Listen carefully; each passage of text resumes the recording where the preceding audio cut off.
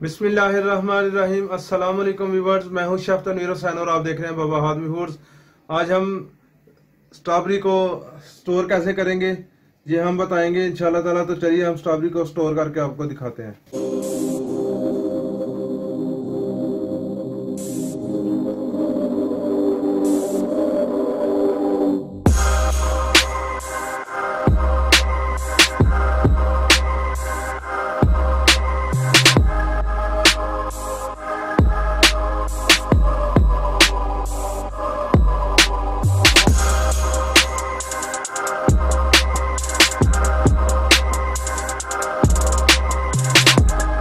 तो व्यूअर चलिए, मैंने दो किलो स्ट्रॉबेरी ली है, इसको स्टोर कैसे करेंगे? मैंने इसको पहले भी धोया है, अब मैं इसको दोबारा पानी में डाल रहा हूँ, बिस्मिल्लाहिर्रहमानिर्रहीम।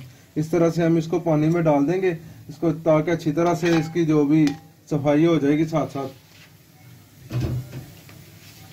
और जो है ना, इसकी अच्छी तरह से सफ़ाई हो जाएगी साथ साथ, इसके मैं, ये देखे इस तरह से हम इसके उतारेंगे, ऊपर से ये ढूंढलियाँ ठीक है, इसको हम अलहदा से रखते जाएँगे।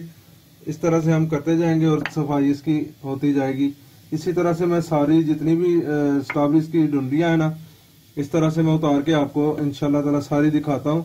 ये देखें, इस तरह से मैं पकड़ दूँगा और सफ़ाई हो गई। इस तरह सफ़ाई करेंगे, फिर कैसे स्टोर करना है वो भी मैं आपको दिखाता हूँ।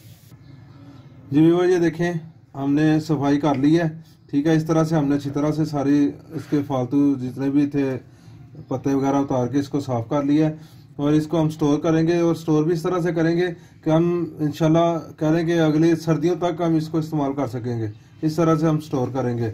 जब दिल किया निकाल के इस्तेमाल की बाकी रख दी। ठीक है, ये हमने छापर लिए हैं, ये देखें। ये छापर है, इसको हम बोलते हैं जिप लिफाफा। ठीक है ना? ये जिप वाला छापर था, ये इधर से सील बंद हो जाता है। इसमें हम डालेंगे इस तरह से अपने ज़रूरत के मुताबिक जितनी हमने इसका बनाना है बिस्मिल्लाहिर्रहमानिर्रहीम।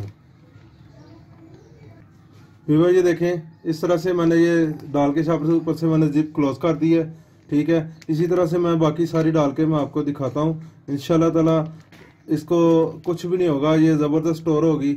जब चाहें आप, हम इसको फ्रीज करेंगे ना तो जब चाहें हम फ्रीज से निकालें, इस्तेमाल करें इन ताला। ये देखें, मेरे पास बड़े शापर खत्म हुए थे बड़े भी ये मिल जाते हैं। वन के जी वाले भी मिल जाते हैं। आप बड़ा भी शापर इस्तेमाल कर सकते हैं। मैंने छोटे में रखी हैं। देखिए इस तरह से। इनको हम फ्रीज करेंगे।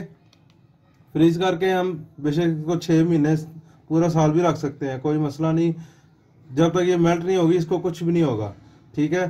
तो इसी तरह से आप स्टोर करेंगे, इसको फ्रीज करेंगे। फ्रीज करके आप जब चीज़ चाहे आप फ्रीज से निकाल के इस्तेमाल करें।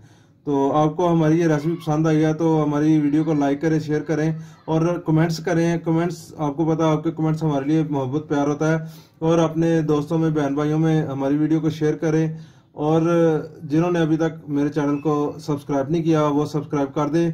तो नेक्स्ट वीडियो तक के लिए इजाज़त चाहता हूँ। अल्लाह हाफिज़।